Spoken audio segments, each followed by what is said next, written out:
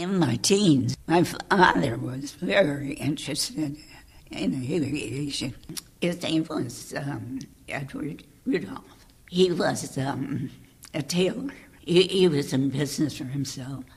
We used to go out to the airport, which at that time was, you know, just a big field. And of course, it was just no no runways, you know. And you could take off at any time. You didn't need a, a flight record or anything like that. And they didn't take you up for five dollars. But we just went almost every weekend in the summer. It was just an interesting place to go on Sunday afternoons. I think I had um, just graduated from uh, high school. It was just, it just seemed like it would be a fun thing to do. And because my father was so interested, to me, it built up my interest. But the first time I went out to um, the school, that was the Universal Aviation School at the airport, he refused to uh, give me a contract because I was a woman. And I don't know why I went back, but I did, and, and they did accept me as a student. At that time, they, I was the only woman taking lessons. I think I was very good at takeoffs and landings because I made so many of them. The main thing I did. But it probably took me a little bit longer to actually solo, and that was exciting, of course. I was flying with the instructor. We landed and got out of the, the plane, and he said, "You can take it up." And I, you know, I, I was surprised. I did go around the field and landed, and the instructor was standing there waiting at me. And I thought he was, um, you know, complimenting me because I, I made the uh, flight and landed uh, very well. It felt so good. I went around again.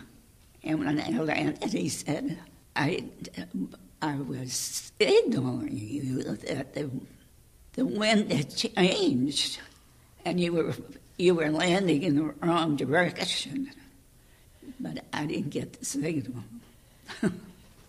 and of course, they didn't have, you know, we, we didn't have any instruments there. Just, um, we said we, we had turning bank and a gas gauge, and that was about it. And of course, my dad was excited because I actually soloed. I made an altitude record.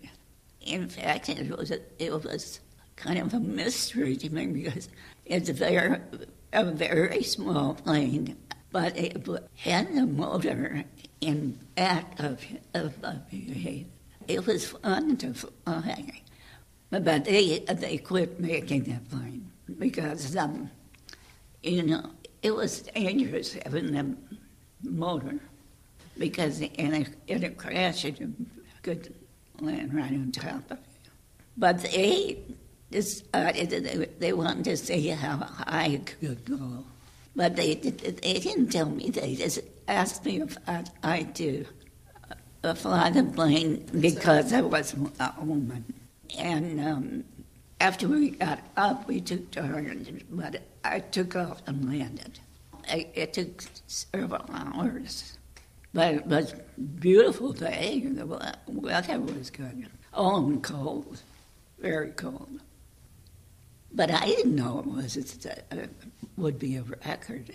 They um, and and so it was a big surprise to me when it turned up in the New York Times. I, I had my private uh, uh, license, I think, when I was 19. But then, when I got the semi commercial, I, um, I had to turn in, and I did, I got my license. But then I couldn't keep it up.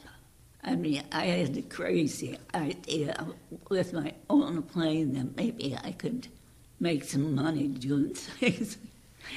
and, um, and I found out that was impossible. I thought maybe I could keep up my private license because you didn't have to fly as many hours.